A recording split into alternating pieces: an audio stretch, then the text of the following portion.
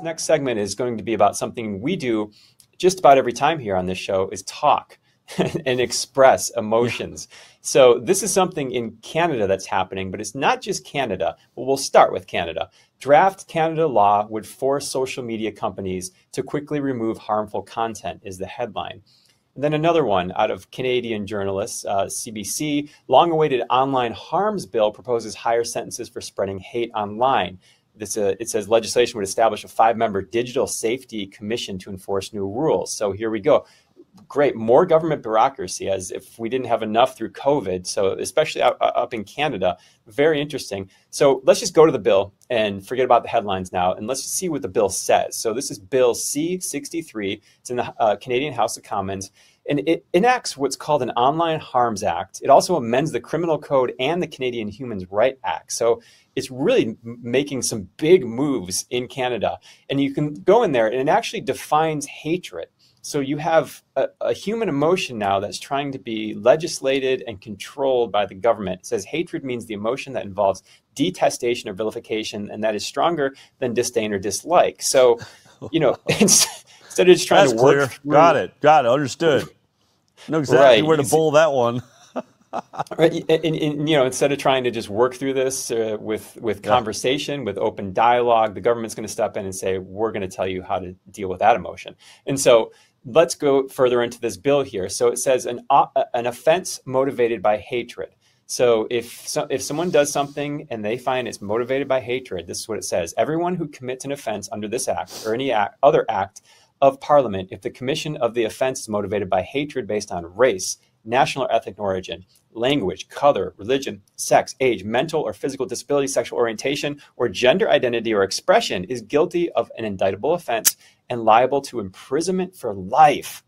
The, the only other thing you get imprisonment for life for pretty much in Canada is murder manslaughter. So they're going to put that up there. If you say something, you know, you, you, you commit a hateful offense to somebody. Imagine whatever, saying you're just, angry that you just found out your kindergartner was just shown images of transgender sex change operations. I mean, these are things we've seen in the Netherlands and England. I mean, imagine you say, wait a minute, I'm totally against that. Oh, you're being hateful? Because if you are, guess who's going to jail?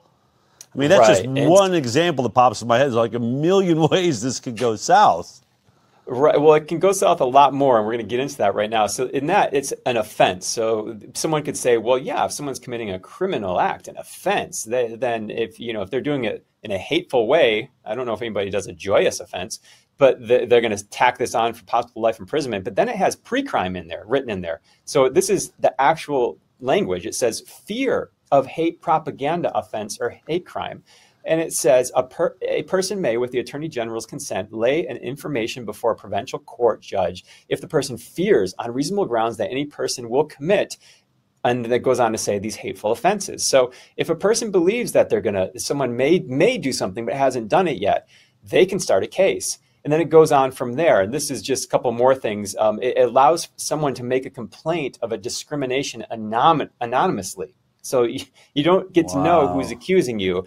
And if found legit, if that hateful complaint is found legit, a maximum of twenty thousand dollars goes to that person. You can imagine how that's going to be abused, and then fifty thousand dollars. Wait, to, the snitch. The snitch gets twenty grand for turning somebody in for potentially being hateful. Wow. Absolutely, and the Canadian government up to fifty k. So there's seventy thousand that that is on the line there for an anonymous, uh, you know, whistleblower, snitch, or whatever you want to call them. But you know, more importantly, so we have the individuals that will abuse the system on this. Uh, it's written right in their bill. You can see how this can happen. But you have a government there, namely uh, a leader there, Prime Minister Justin Trudeau, who seems to throw around these words in situations that they do not apply. Namely, when the truckers were protesting the vaccine mandates, the vaccine passports, you know, the ones that didn't stop transmission, this was the headline Trudeau accuses Canada truckers of hate, abuse, and racism as he tests positive for COVID after evacuation. You go in this article, it says Canadian Prime Minister blasted a convoy of truckers protesting vaccine mandates as showing disrespect to science and championing hate, abuse, and racism hours after announcing he had tested positive for COVID 19.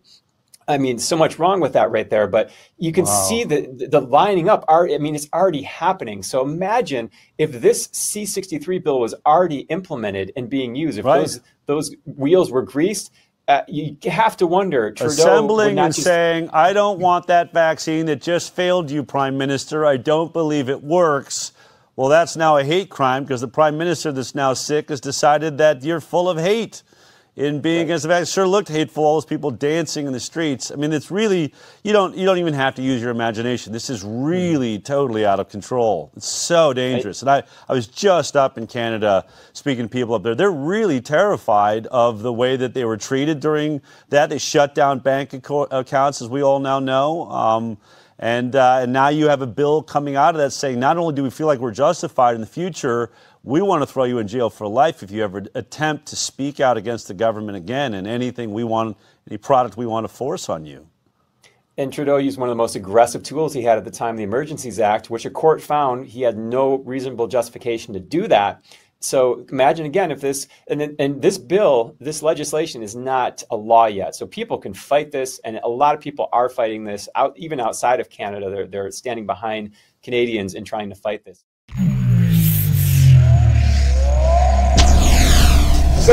cielo sbagliato